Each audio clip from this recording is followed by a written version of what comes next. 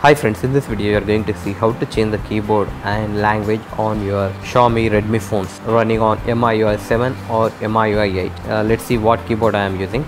Go to messaging. As you can see on my screen, currently I am using Fleksy keyboard. You can use any keyboard of your choice. Just go to Play Store and type keyboard.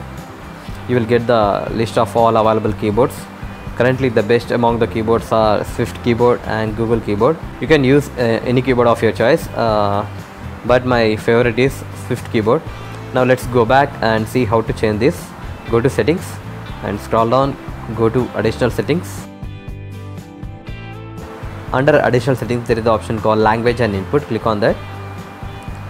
And under keyboard and inputs you can see the current keyboard.